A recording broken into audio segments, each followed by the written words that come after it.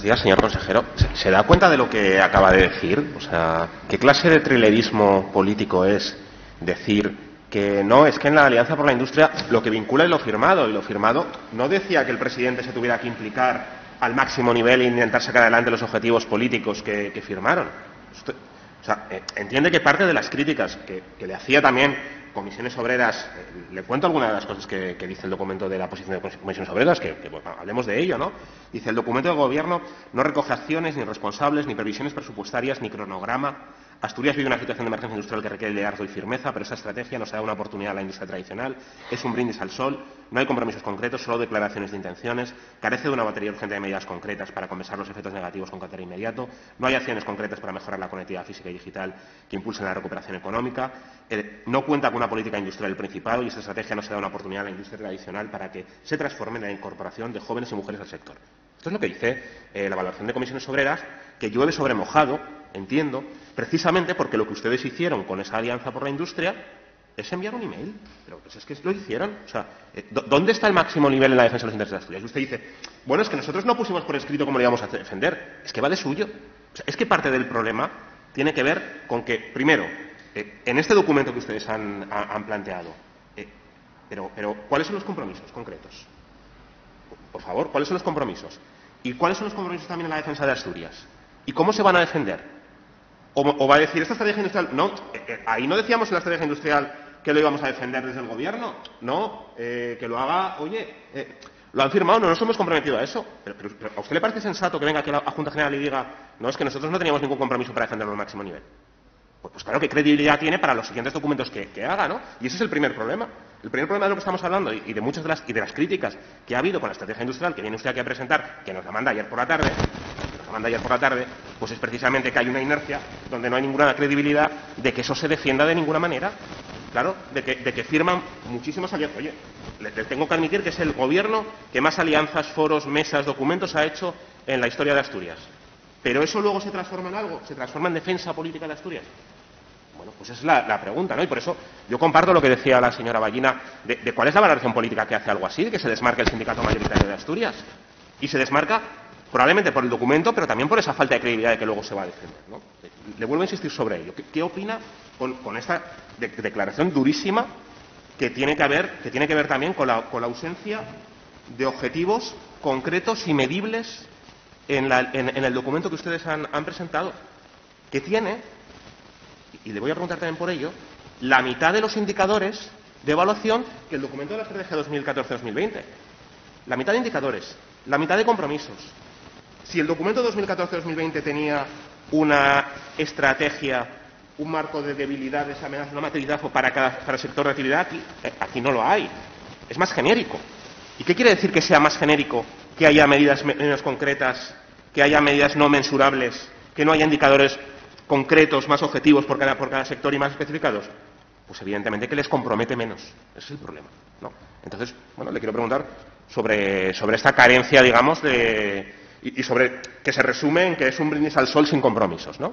¿Qué es lo que opina sobre ello? Sí, buenos días, señor Ripa. Bueno, lo que, opino es que en general, a ver, es muy difícil, por no decir imposible, contentarles, ¿no? Porque cuando traemos cuestiones concretas, eh, critican que adolece de falta de visión general eh, de un programa, de un marco general, una estrategia, una orientación política, y cuando traemos una orientación política, un marco general, y además fijamos marcos generales en distintos ámbitos, hoy le he dicho que son varias las estrategias en las que está trabajando esta consejería integrado en el conjunto del Ejecutivo Regional, lo que nos dicen es que faltan iniciativas concretas. Es decir, le digo, el proceso, el desarrollo de pasar de cuestiones generales a cuestiones concretas es muy sencillo y lo acabo de trasladar para quien lo quiera entender. En este mismo ejercicio, no hace falta ir a ejemplos muy teóricos, nosotros traemos una estrategia industrial en la primera mitad del año. A partir de ahora se abre un proceso de concertación regional, y algo con los agentes sociales. Ahí podemos establecer medidas concretas y luego, a final de ejercicio, va a haber un diálogo, una negociación presupuestaria eh, de los grupos de la Junta y ahí también se puede plantear acciones, presupuestos, recursos concretos en torno a estos parámetros. Por tanto, no hace falta que se rasgue aquí las vestiduras, porque lo que estamos haciendo es un ejercicio sano y democrático de presentación de un documento y, además, estamos planteando que, se someta a, su valoración. Yo sé que, bueno, ha hecho una intervención en la que se, que llevamos dos años, rasga, que llevamos dos años las, sí, bueno, y, uno y medio de COVID. es que, vamos a ver, ese es otro problema, señor Ripa. Ustedes nos están pasando una factura política de dos años, de mitad de legislatura, como si esta hubiese sido una legislatura normal. Y probablemente es la legislatura más anormal que se puede recordar en muchísimo tiempo por una cosa muy sencilla, una palabra muy sencilla, COVID-19. No sé si usted ha oído hablar de él. Estas cosas, señor Ripa, hacen que tengan un discurso que parece que estaba escrito al principio de la legislatura para ábrase a mitad de la legislatura y no se han dado cuenta de que a mitad de la, misma han pasado muchísimas más cosas y esto nos ha obligado a centrarnos en aspectos como son la reorganización de los puestos de trabajo, la asignación de ayudas a sectores más desfavorecidos, volcar recursos en aspectos sanitarios y educativos, establecer protocolos de seguridad, vigilar las nuevas regulaciones de emergencia para proteger en todo momento a la industria. Esto ha llevado tiempo y ha llevado recursos. Y aún así, en la mitad de la legislatura estamos presentando hoy aquí esta estrategia y tenemos otras cuatro en marcha y otras tres que también verán en este mismo ejercicio eh, la luz. Por tanto, eh, estos son los hechos y luego las valoraciones que usted hace me parecen muy precipitadas y poco fundamentadas.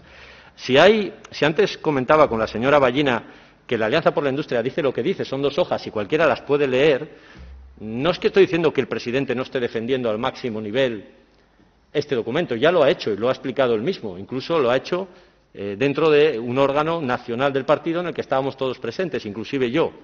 Y esto le doy fe. El tema es que se dice que la alianza acordó. Y esto es un error y una inexactitud que se está trasladando día sí, día también a la opinión pública, que, se acordó en la alianza que fuera el presidente el que trasladase en una reunión. Eso no lo dice el documento que todos los grupos firmamos. Y ahí está, para que se revise. Y luego ya lo que me parece el colmo, señor Ripa, es que, bueno, puede ocurrir ¿eh? que se entienda que ciertas cosas se habían hablado aunque no estén firmadas, no estén en el documento. Y es importante atenerse a un documento cuando hay tantas partes con diferentes intereses. Es muy importante que lo que se acuerda es lo que se firma, no otras cosas que, puedan haberse comentado y que finalmente no están recogidas. Pero ya es el colmo que venga usted de Adalid, de la alianza que no firmó. Es decir, esto no sé si usted se da cuenta o se escucha a sí mismo. Es decir, estamos a día de hoy todavía lamentando que la alianza haya perdido parte, no, en absoluto no una parte muy significativa, pero una parte de su fuerza que le daba la unanimidad. Y fíjese, es una fuerza exterior, porque la alianza está diseñada como medio de reivindicación y de presión frente al gobierno de España, al gobierno de, la Bruselas, a la Unión Europea.